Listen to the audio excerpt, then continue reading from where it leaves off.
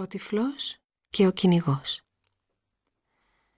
Μια φορά και έναν καιρό ήταν ένας τυφλός που ζούσε με την αδελφή του σε μια καλύβα εκεί που τελείωνε το δάσος. Ο τυφλός ήταν πολύ έξυπνος. Παρόλο που δεν έβλεπε, έμοιαζε να ξέρει για τον κόσμο πολύ περισσότερα πράγματα από αυτούς που είχαν αητήσια μάτια. Συνήθιζε να κάθεται έξω από την καλύβα του και να μιλά με περαστικούς. Αν είχαν κάποιο πρόβλημα, τον ρωτούσαν τι να κάνουν και τους έδινε πάντα μια καλή συμβουλή. Αν υπήρχαν πράγματα που ήθελαν να μάθουν, τους απαντούσε και όσα τους έλεγε ήταν πάντα σωστά. Οι άνθρωποι κουνούσαν το κεφάλι τους με έκπληξη.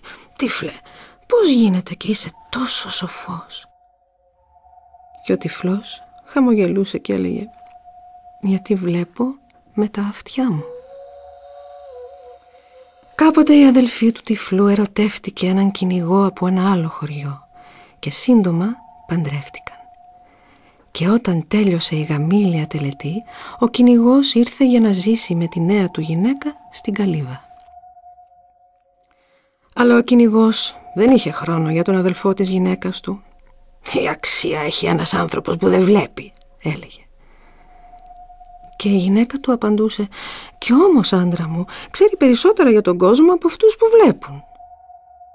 Ο κυνηγός τότε γελούσε «Τι μπορεί να ξέρει ένας τυφλός που ζει στο σκοτάδι» Κάθε μέρα ο κυνηγός πήγαινε στο δάσος με παγίδες, ακόντια και βέλη. Και κάθε βράδυ που γύριζε στο χωριό, ο τυφλός του έλεγε «Σε παρακαλώ, αύριο άφησε με να έρθω μαζί σου για κυνήγι στο δάσος. Αλλά ο κυνηγός κουνούσε το κεφάλι. Τι αξία έχει ένας που δεν βλέπει. Και περνούσαν οι μέρες, οι εβδομάδες και οι μήνες και κάθε βράδυ ο τυφλός έλεγε «Σε παρακαλώ, άσε με να έρθω για κυνήγι αύριο». Και κάθε βράδυ ο κυνηγός κουνούσε το κεφάλι. Αλλά ένα βράδυ ο κυνηγός είχε κέφια. Γύρισε σπίτι με καλό κυνήγι, μια χοντρή γαζέλα. Η γυναίκα του μαγείρεψε το κρέας και όταν τέλειωσαν το φαγητό, ο κυνηγός γύρισε στον τυφλό και του είπε «Πολύ καλά, αύριο θα έρθεις στο κυνήγι». Και έτσι το επόμενο πρωί ξεκίνησαν μαζί για το δάσος. Ο κυνηγός με τις παγίδες του, τα κόντια και τα βέλη οδηγώντας τον τυφλό με το χέρι στο μονοπάτι ανάμεσα στα δέντρα. Περπατούσαν επί ώρες. Ξαφνικά ο τυφλός σταμάτησε.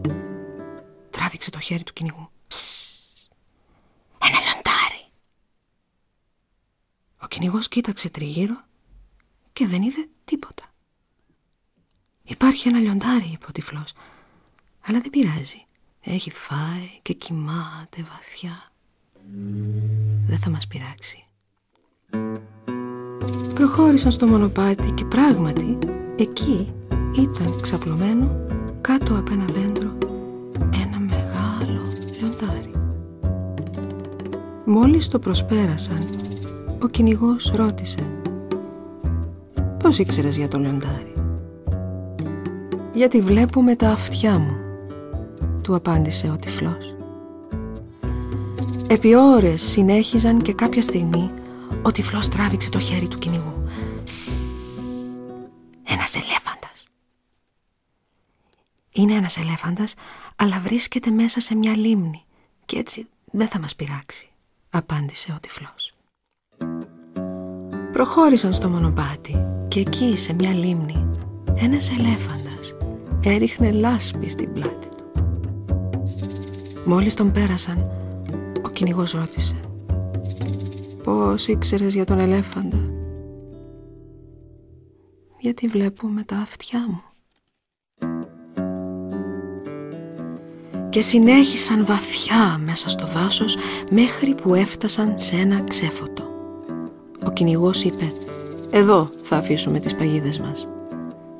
Ο κυνηγός έστησε μια παγίδα και έδειξε στον τυφλό πώς να στήσει μια άλλη. Όταν και οι δύο παγίδες ήταν έτοιμες, ο κυνηγός είπε Θα έρθουμε αύριο να δούμε τι πιάσαμε. Και μαζί πήραν το δρόμο για το χωριό. Το επόμενο πρωί σηκώθηκαν νωρίς. Ξεκίνησαν μια ακόμη φορά ακολουθώντας το μονοπάτι στο δάσος.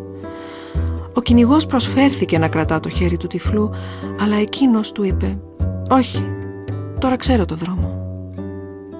Ο τυφλός βάδιζε μπροστά αυτή τη φορά και το πόδι του δεν πιάστηκε ούτε σε μια ρίζα δέντρου.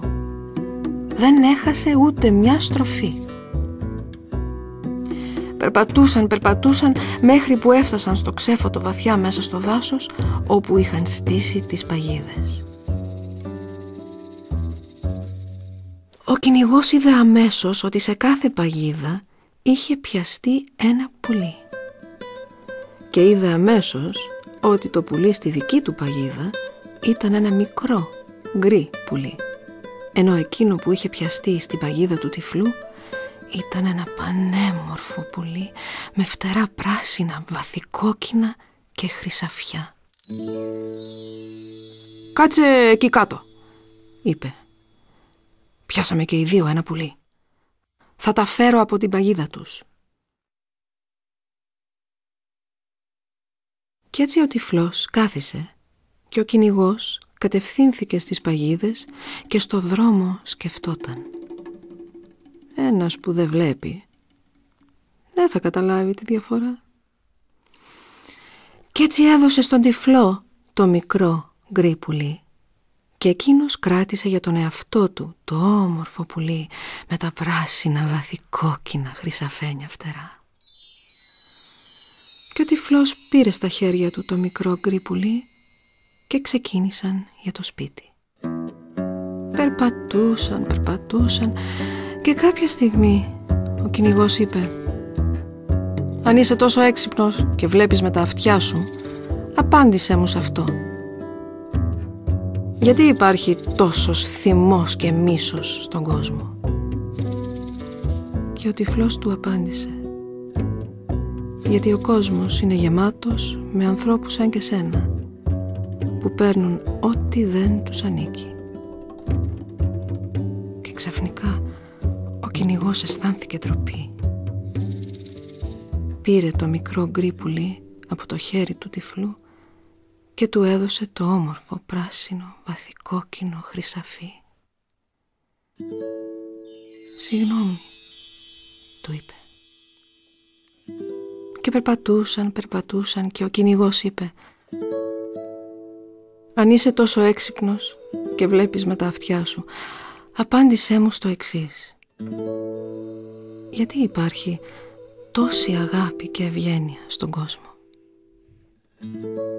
και ο τυφλός απάντησε «Γιατί ο κόσμος είναι γεμάτος με ανθρώπους σαν εσένα που μαθαίνουν από τα λάθη τους» και περπατούσαν μέχρι που έφτασαν σπίτι. Και από εκείνη τη μέρα αν ο κυνηγός άκουγε κάποιον να ρωτά «Τι πώς γίνεται και είσαι τόσο σοφός» έβαζε το χέρι του γύρω από τους ώμους του τυφλού και έλεγε «Γιατί βλέπει με τα αυτιά του και ακούει με την καρδιά του.